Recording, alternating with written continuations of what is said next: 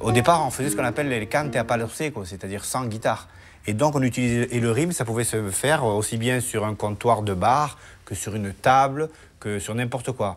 Je veux dire par là qu'à un moment donné, euh, on n'avait pas le cajon. Et alors, le but de cet instrument, c'est quoi? C'est d'obtenir deux sons. Tu as ici un son aigu et ici un son grave. D'accord?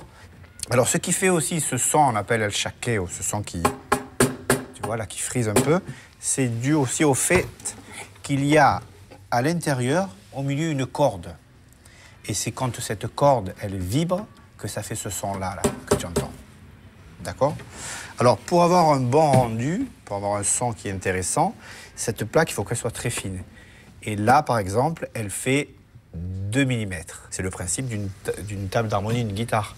Elle sonne parce que la, table est très fine. Tout sigue. Il s'agit de trouver à l'intérieur de ce schéma où est le 3, 7, d'accord 8, 10, 12. Donc écoutez bien les graves où ils se trouvent. Là, 3, 7, 8, 10, 12. 1, 2, 3, 7, 8, 10, 12. Est-ce que c'est clair? Ça va?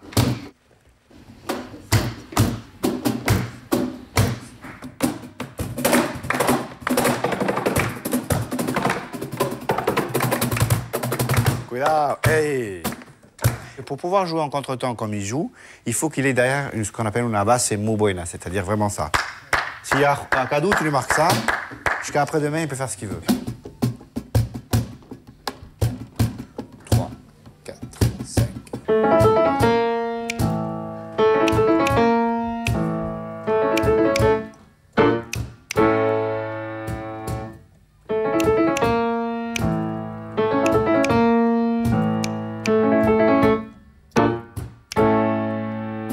Les difficultés du flamenco pour une musicienne classique, bon, c'est euh, tout d'un coup, on est dans le, cœur de la musique, dans le sens où euh, on n'a plus le support euh, partition.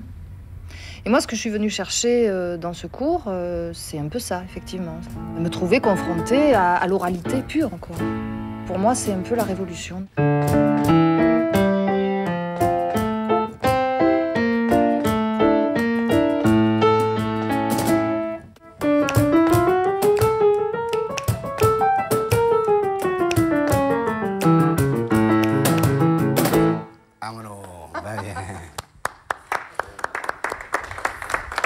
Très bien, très bien.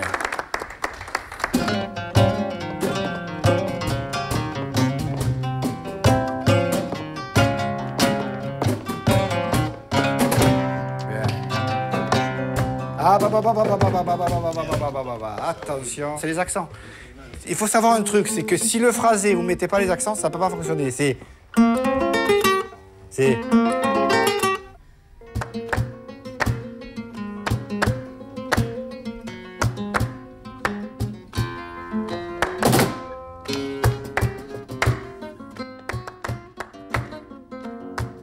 je suis algérienne, c'est vrai que ma culture, c'est une culture arabe. Il y a beaucoup de choses justement portées sur le ressenti qui se rapprochent. C'est d'abord euh, une culture, une éducation, l'éducation qu'on a depuis tout petit par nos parents, par euh, cette espèce d'état d'esprit que les gitans et que les arabes ont.